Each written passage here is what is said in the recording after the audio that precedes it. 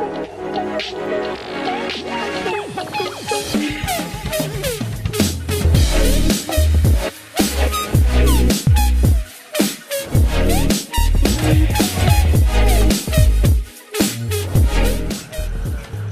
các bạn, hôm nay mình à, dẫn các bạn đi thăm à, cửa Tam Quan Thái Nguyên.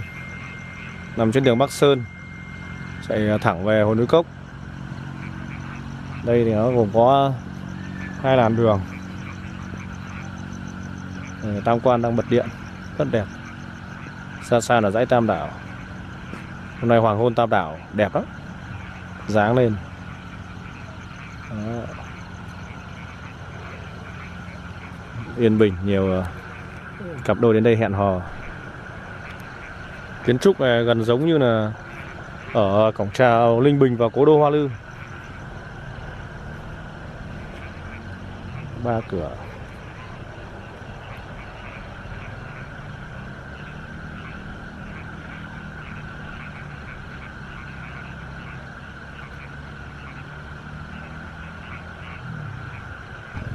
Sau khi ờ, cái con đường này hoàn thiện xong thì chúng ta đi từ ờ, thành phố cụ thể là từ ờ, đầu cầu đường Bắc Sơn đến đường cầu Gia Bảy lên thẳng hồ núi Cốc rất là nhanh đường thẳng.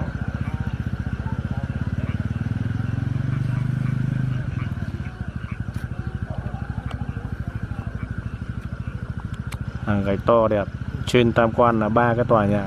Đây là nghệ sĩ Thành Trung đang sáng tác. Đang săn siêu phẩm này. À, xem là hình ảnh ra nó sẽ như thế nào. Anh phơi bao nhiêu giây đây? Mười mấy thôi. ui giời cái chờ bao giờ. Đấy. Đấy xem nào. Đẹp ghê đấy nhỉ? Được. 10 giây. Bây giờ mà các bạn đi uh, tham quan qua. Đấy các bạn thấy chừng một số ba tòa nhà trên toàn là bằng gỗ đấy gỗ hay là giả gỗ nhỉ? Cái cửa kia thì chắc chắn là gỗ rồi đúng không? Cột thì chưa biết nhưng cái cửa chính thì chắc chắn là gỗ rồi. Xây ở những viên gạch khá là to. Đó, anh du gần vào cái những viên gạch của tôi họ xem. Đó. là to. Đấy, đây là phía sau của Tam Quan. Bây giờ chúng ta nhìn ngược về thành phố bên phải của Tam Quan này là cái dãy nhà Tích Cô. Tí nữa mình sẽ quay bạn xem.